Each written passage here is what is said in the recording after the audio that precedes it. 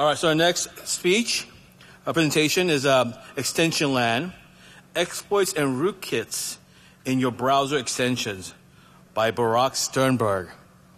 He is your father. Oh. well, I'm super excited. This is my first talk at DEF CON ever. So, uh, with this in mind, whoop. so we are going to get started. So extension and exploits and rootkits in your browser extensions. So first a little bit about me. So I'm a security researcher. My name is Barak Sternberg and I'm a founder also at WildPointer. I was previously an author at Sentinel-1 Labs. Uh, I did this talk about hacking smart devices for fun and profit last year in uh, the amazing IoT village and I did my master's on algorithms, and I love vulnerability research. From IoT to embedded devices, Linux, web apps, and much, much more. Um, so with that to conclude, I'm also a DJ and party lover, so check out also my Mixcloud for more mixes and stuff like that. And with this in mind, let's start. So our motivations for extension is, well, first, we have more than 2 million extensions in the web stores out there. So we have so many extensions. Many are malicious. We all know about malicious ex extensions, right? Um, and why they are so commonly used for malware. So first, they have so much permissions. Uh, you can easily UXSS, you can easily run JavaScript inside any region targeted with uh, Chrome extension in mind. Uh, they can let you control the entire browser and much more more. They are still in a sense, and they are cross-platform, so they can run on any uh, desktop OS, like uh, I don't know, Mac, Windows, whatever, and they are really easy to develop. Like JS malware is much easier to develop than C malware, right? And why did I focus on researching extension? Well, first of all, I love this idea. It's like JS uh, of, uh, of cool things inside of them, cool APIs, interesting uh, areas to explore. And the main key points is that these attack surfaces inside of them have new, uh, interesting, well, not new, but interesting and unique APIs. And they lie in different contexts and they have these uh, super browser powers. So let's now uh, talk about these super browser pow powers, but before that, I'm going to give a brief talk about my, uh, a brief uh, speech about my talk. So we are going to start with introduction over Chrome, over Chrome extensions. We're going to start with the anatomy of Chrome extensions uh, in general, extensions communication. After that, we're going to exploit two different extensions in cool new context. So the first one is the Zotero extension, and the second one is the Vimium extension. On the first, we will jump from one Chrome app to another Chrome extension, elevating our privilege like a PE kind of style. The second one is the Vimium. We, we use it to get UXSS. And finally, we will kind of bypass the signatures of the extension check inside the Chrome browser. And to do that, uh, we will modify kind of a technique that will help us uh, uh, to change previously installed good extension, converting known installed extension into bad ones. So with this in mind, let's get started. So extension anatomy, the basics. Uh, first, like extension are developed of two main components if we generally speak about that. So content scripts and background uh, context. The content script is like the front end, so it's temporarily loaded, and it's temporarily loaded kind of inside every matching sites. So for example, you have a site that is matched uh, for specific extension, and the extension declares this is a site that is matched to. Then the content script gets loaded, JavaScript will get loaded, and they are accessible to the site's DOM and many, many more things. And there is also the background context. So the background context is actually kind of the back end of the extensions themselves. They run in specific uh, process, specified uh, dedicated process, and different contexts, and they are also persistent. They run once persistently in the background. And to conclude, extension directory is, well, I focused on Windows, but it's truly applicable to more operating system running Chrome uh, with extensions feature on desktop. And the extensions directory lays inside uh, this folder. You can see the local app data here. They are kind of unpacked. All the JavaScript and stuff is in there. They have the extension manifest. If you know, like the manifest inside, uh, I don't know, Android, the XML file. So it's the same. It defines permissions and more things. And they have also signatures. So at runtime and also while installing, this signature gets verified and all the time uh, kind of checked. Cool. So manifest anatomy. So this is the manifest. It composed like of three uh, main things, the JSON file.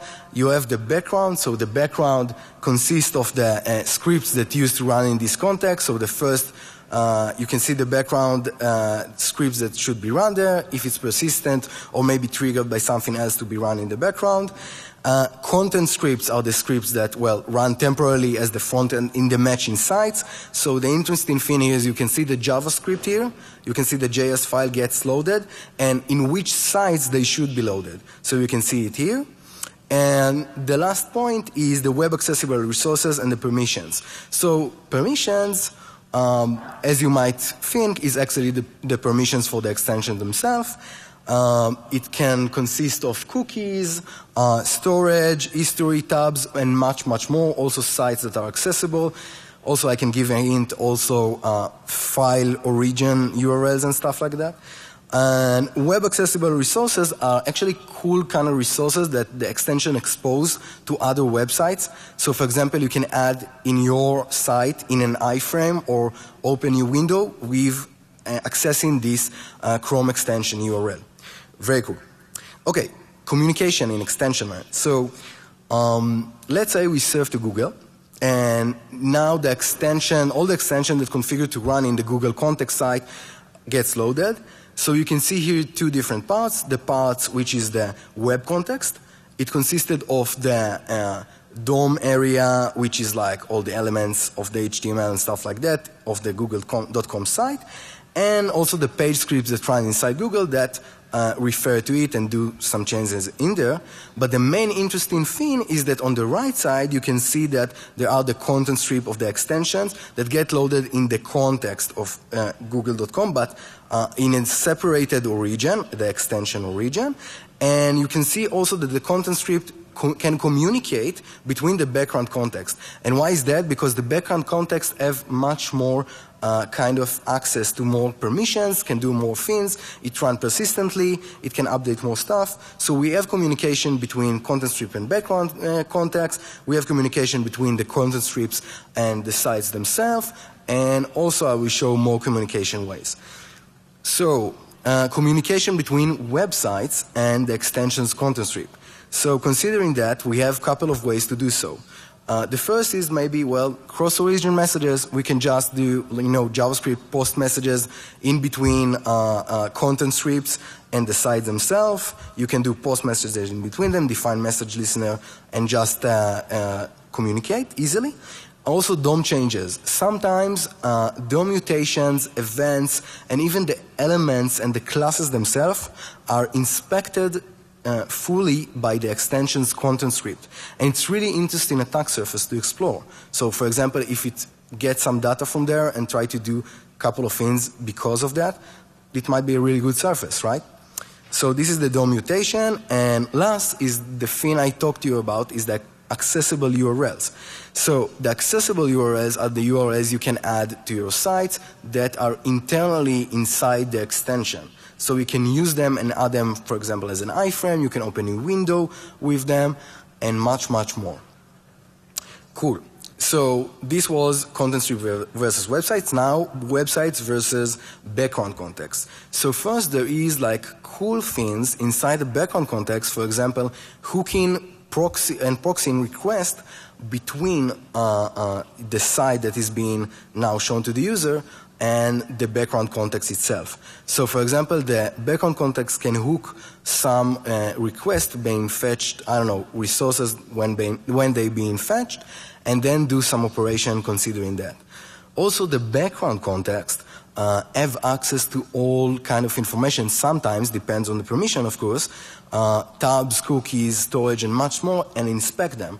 So it can be a very, very cool way uh, to gain more uh, things to do in the attack surface uh, uh, scenario. Cool.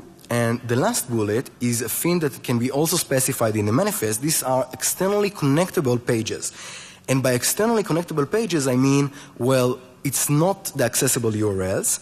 It's pages that can actually do message passing to the background context and bypass in, the sen- in a sense the content script. So you can define in the manifest sites that are accessible to the background context and can send messages back to it. Um, cool. So it's exposed with the send message API and the manifest state which sites are accessible to this context. And last, the extension versus extensions. So many extensions can communicate with other extensions as well, and the way they can do it is first all the ways I told you about websites between extensions are actually kind of exposed to these extensions as well. The second thing is the externally connectable sites. So the cool thing, well, I'm now skipping over to the last bullet. Um, you can actually kind of do cross extensions message injection. And the way you can do it is because, well, if for example one extension define one site as externally connectable, you can inject in your first extension to this site new script that triggers messaging passing to the other extension. And that way you can send message directly to the background context of, uh, of the other extension from the first extension. So this is a cool way to communicate between first extension and the background context of another extension. Uh, of course, only if defined and the manifest. And last, uh, the TCP and UDP connections, many of them use uh, open uh, uh, TCP connection, communicate and connect to other things and stuff. So that's really cool thing, uh, an attack surface to explore.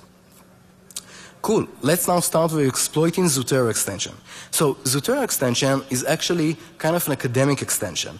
It helps you uh, get identifiers uh, for specific papers and let you easily uh, uh, manage all your citations in one place. Actually, really easy to do. When I did my master's, it was amazing. Like, use these citations fully embedded and shareable uh, anywhere. And it works also with uh, Companion Zotero Desktop, uh, which is a software and communicate between them, but it's not a mandatory. So extension like this uh, sometimes and actually usually works uh, independently on its own, and it communicates through a TCP uh, port. So one of the cool feature inside this Zotero extension was actually its translators. It, ha it has translators, but not like translator from French to English, but more of like extractions to identifiers inside the web. So you have this translator that is a JavaScript that is loaded inside the content script of the current site and try to extract uh, identifiers that are related to citations. So you can use this translator to ex extract more identifiers and help you citate more papers and such. But the cool thing about this translator is, well, it's an open source thing. There are more than 500 uh, JavaScript translators in GitHub, and they are open source. And whenever you update one of them, it actually run. It can run over in any site when Zotero extension is installed. So one attack surface I'm not going to talk about fully here is the supply chaining of these kind of things. And it's really suspectable because it's open source and you can change the JavaScript translators in there. But leaving the supply chain attacks, let's go to another cool thing inside there. So the Zotero translators also have this cool system in which they can uh, update their, uh, the new translators. So you can call get translators and you call it like for TCP to the localhost. And why it does that? It does localhost communication because it thinks that the Zotero desktop version might be installed there. So he tries to communicate be, uh, between himself and the Zotero desktop version, and he reach out to localhost at this uh, high port, and it looks for new translator. So if there is a new translator, it just downloads it and run it over. Oh, that's amazing, right? So yeah, exploiting it. So we're starting with a Chrome app uh, a Chrome app that listens over a TCP socket, and we just wait for Zotero to act up. When he act up, it looks for new translator, download our new translator because we made him to believe that we have newer translator to download, and it, then he just downloads it up and run it. But wait, we actually have inside there uh, sandbox execu- execution. You can see here that they actually written here uh, sandbox manager kinda, and they try to ev- do eval, which is might be not that bad in the sandbox manager kind of thing, but it actually doesn't do nothing. It just removes some JavaScript variables and just execute your JavaScript in the content strip context.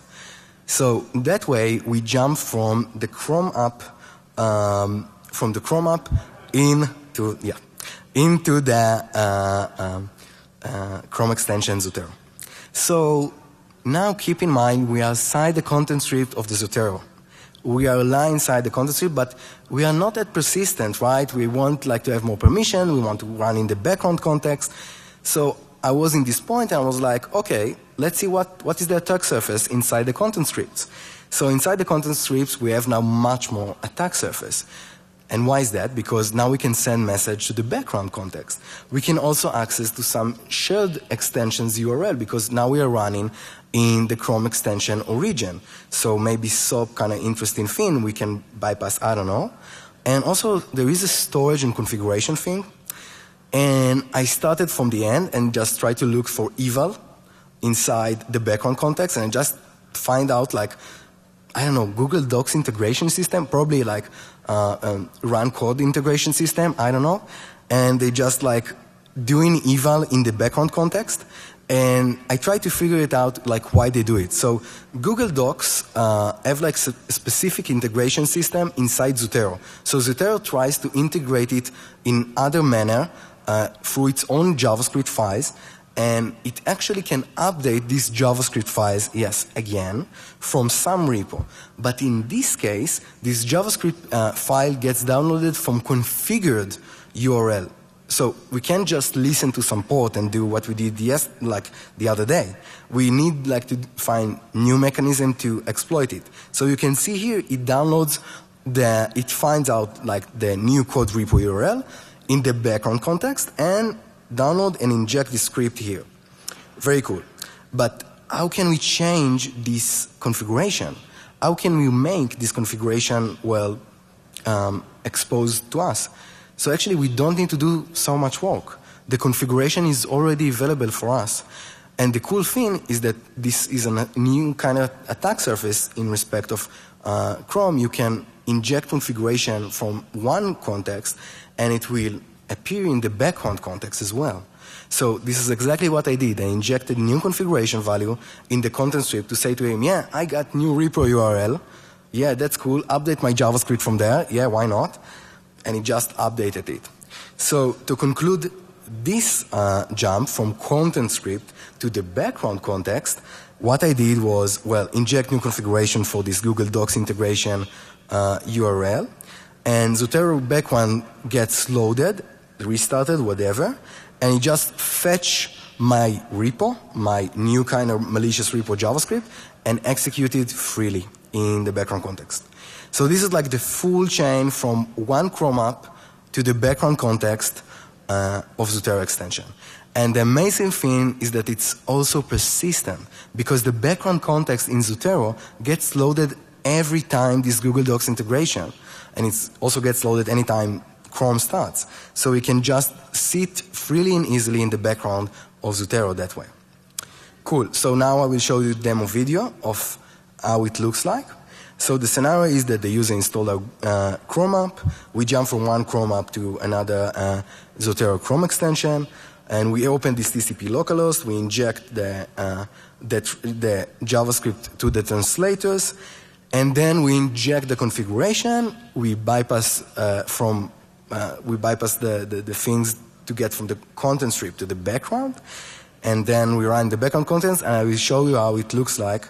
So here you can see, um, yeah, this is Mappy2, my app. Really, really good app. No permissions, like it only have permission to see TCP. You can see it have no access to any site whatsoever. And yeah. And now I'll go to the Zotero extension, the Zotero connector. And you can see it can have access to all sites, read your all browsing history and stuff.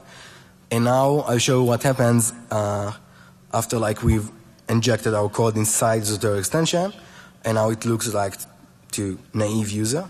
You can also see that nothing is shown here and now things have already run. So you can see here that my CNC gets like new data from uh, the site whenever this site is gets loaded and run away. There is no evidence in the DevTools nowhere because I actually open uh, uh, new uh, different contexts and send all the data from different VM JavaScript context so you can see nothing in the DevTools.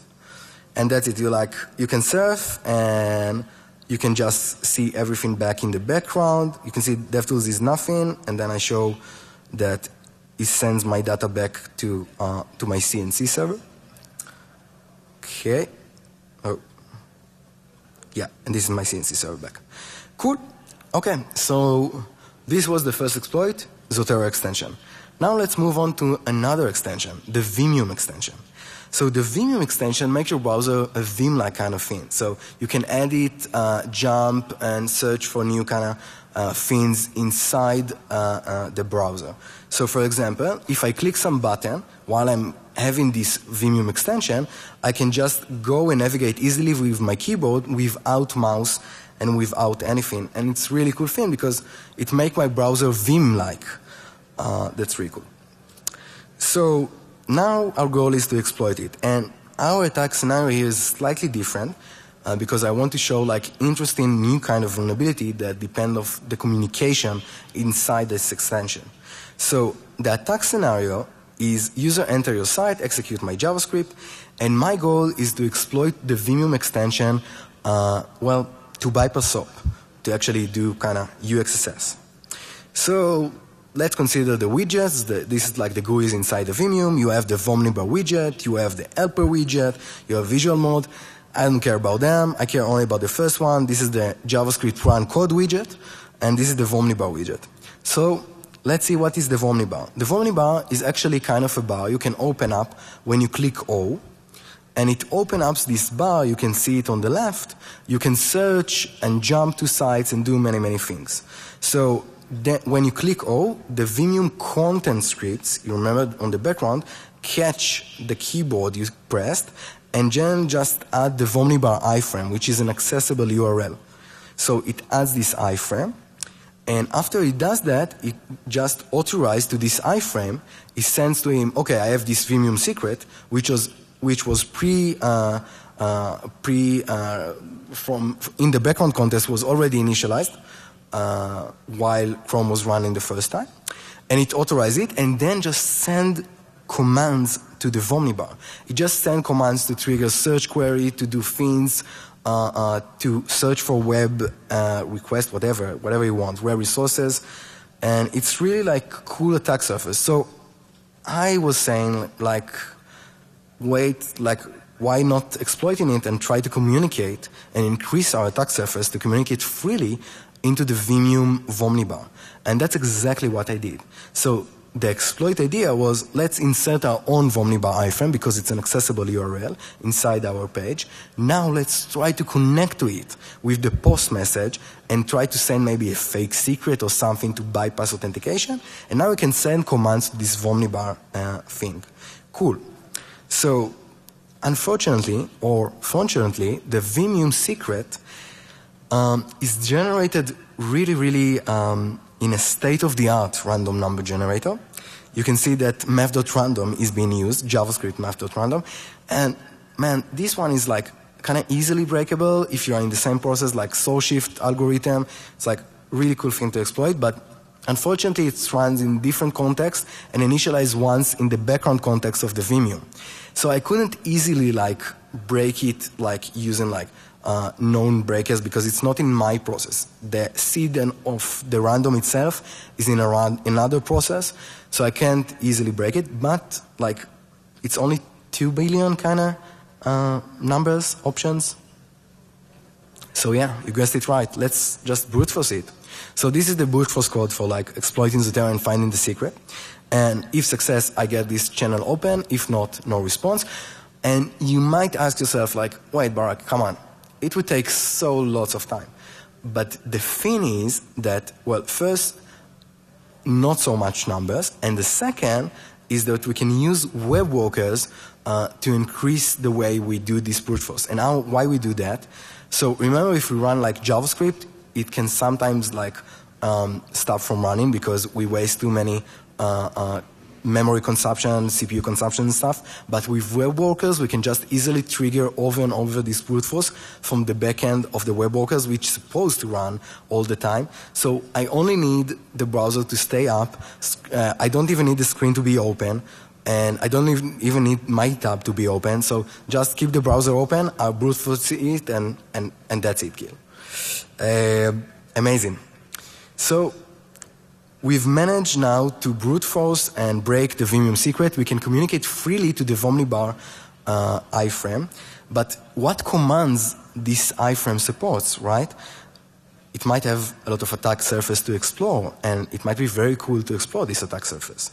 So first, it can trigger a search for new URL completion. It can activate uh, a search and jump to new URLs, and search for ints uh, to auto completion and stuff. Yeah, um, well, also run JavaScript code. This is, this is what we are about here, right? So how we can do that? Just search for the JavaScript scheme and voila. So you can see that it actually triggers JavaScript execution, but in my site. Well, I don't want to run JavaScript in my site, what it gives to me, right? So I'm in my page, I'm running this Vomnibar iframe, I communicate with him, and I trigger alert in my side? No, I don't bother it. But let's now see what happens behind the scenes with this communication. So when we trigger, when we trigger uh, um, this uh, search for new URLs, what's happened is that the Vomnibar iframe tries to find auto-completion for this scheme. So the content script of the Vimium sends message to the background scripts to find relevant auto-completions. Now the background script sends message back to the content scripts inside this tab, to the sender in sense. But then all the content scripts inside this tab uh, get the message, execute this JavaScript inside this frame. So you can see the problem here? Well, the main problem is that if there are more than one content script of Vimium, we can actually trigger another content script to execute our uh, JavaScript from another. What we will do is trigger auto-completion for JavaScript from one content script, and the background context will send message to another content script. And the, the reason it happens is that send message doesn't have like, they don't have any validation to any things inside there. They don't validate the origin, they don't validate the sender instance, so it gets sent to any of the content scripts inside this uh, uh, Vimium area. So exploit, we just insert our targeted origin as an iframe inside our page. We trigger the Vomnibar bypass authentication, and we then activate the uh, search uh, the search for JavaScript scheme with our own JavaScript code to be run inside of it, and then it just trigger JavaScript execution inside um, another uh, another page. Cool. Let's see it uh, in a high-level kind of picture. So the Vimium content script gets triggered. The content script uh, sends uh, a message from one iframe, the top iframe, uh, to the background context. Now the background script sends message back to the tab which, which appears here. And you can see that the iframe, which is a sub iframe here, gets the message also. And also the parent iframe get the message as well. So what we do is actually trigger it to make messages to another iframe, and we manage to execute that way JavaScript in another target origin. Cool. So concluding is the full exploit to bypass SOAP using Vimium is first you break the Vimium secret, you insert a Vomnibar iframe inside of you, communicate it with you freely because you uh, break the secret. Now you trigger the auto-completion for JavaScript scheme, and when the response gets back, the targeted origin get it and execute our JavaScript. Very cool. Now let's see a demo of that.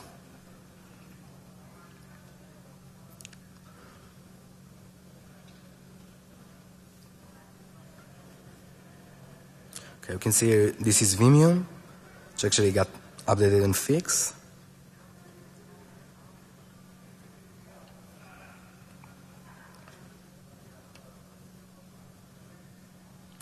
Okay, this is the my site, and here you can see that code was run inside facebook.com. And you cannot see here any, any signs of facebook.com because it's a hidden iframe inside of me. And you can see uh, we can cover it, but you can see the Vomni bar with the JavaScript scheme and the code I wanted to run inside of it. So we can actually cover it and make it like seem really, really good and, and really uh, easy to exploit. Cool. So we exploited Vimeo. Now let's move on to the last step. What I want to show you now is kind of a new trick to bypass uh, signature and replace uh, and modify extensions, uh, previously installed extensions in your browser. And well, the scenario here is a post exploitation. So we managed to run code on the user's uh, device. We already installed uh, a persistent rootkit. Uh, sorry, we want to install a persistent rootkit. And our goal is to, well, of course, use extensions to install a persistent rootkit inside the browser.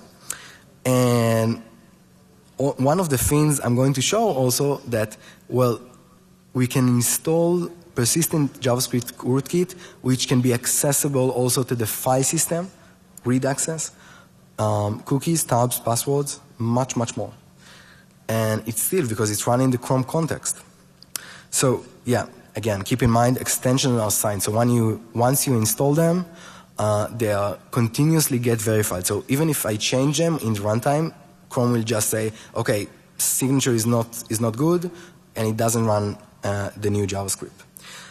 But extensions in unpacked mode, well, apparently there is like a cool mode for developers uh, in which they can uh, develop their extensions, and this unpacked mode gives them the opportunity to not sign their extensions and just develop them easily. So if extension gets loaded as in, in unpacked mode, which is an easy argument to add to your Chrome, uh, and a good way to do red team or pen testing, I guess, um, you can actually uh, replace or add new extension that is easily modified and not signed. But the even more cooler thing is that you don't need to add new extension to do so. So, exploiting. Uh, let's pick an already installed extension. For example, you have AdBlocker, Google Docs, any other extension. And what we will do now is actually uh, try to reload it in a sense uh, while making Chrome thinks that it is unpacked mode. So we will load this extension. You can see the argument minus minus load extension, and it points out to the original extension folder, to the original extension deal. So we don't even add, need to add our own files or anything. And while we do that and run up Chrome again, it just doesn't verify the signature for the previously installed extension. And this extension, I will show you, it seems exactly the same. Chrome thinks that the good extension is installed and seems like it's, well, all good? Um, cool. So let's see now a demo for that. Um, this is my Chrome. And you can see my ad blocker is the target. Installed, Chrome thinks it's installed correctly. All good. Um, no problems. And yeah, the, the original site in the web store. And you can see here that uh, it's also like seemingly almost exactly the same besides a small tiny icon in there, but it's only in the extension area and Chrome doesn't give any warning about that when you open Chrome or anything like that. It seems exactly the same. And you can see here below, I moved on to the background context. This is what you see here. And you can see that my JavaScript was executed in this terminal console. You can see it below there. So I'm injected uh, my JavaScript code inside that ad blocker. It seems exactly the same. You won't even notice. Like if you investigate it statically and see what extensions are installed, you will see just this one and all good. No signature verified. And yes, we can also enhance our permissions. We can also, this technique, change all the manifest file. So this leads me to, well, my final thing here. I developed uh, also a tool you can enter and use it. It's a POC kind of thing. And It's called Maltensions, and it's a cool tool to generate your own malicious extensions uh, uh, for the browser.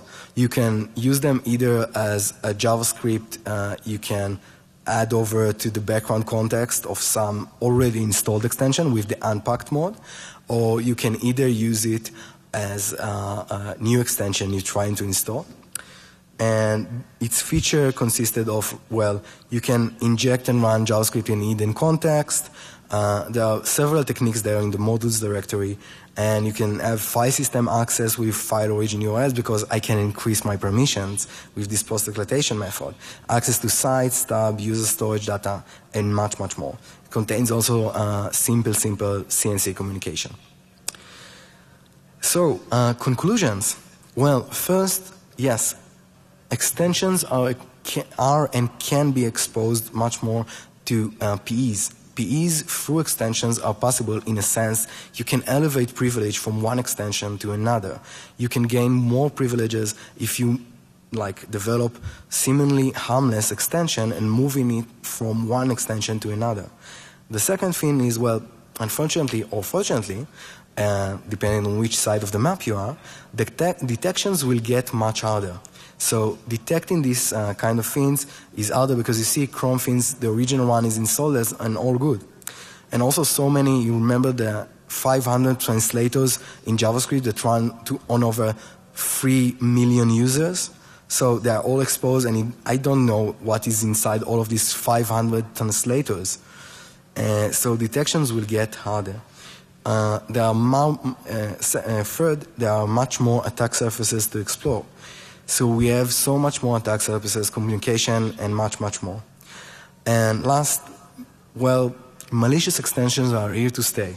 It's about time we investigate and research much more inside of them and try to find out how we can protect and defend more uh, regarding and considering them. Not just from non-malicious installed extension, but more uh, even about their communication and the dynamic and much more things they do inside of them.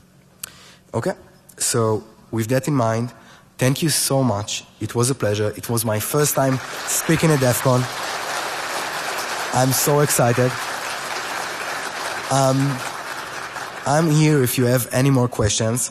Um, so my name is Barak Sternberg. You can look me up in, in Twitter, Living Beef, and well, that's it. Thank you.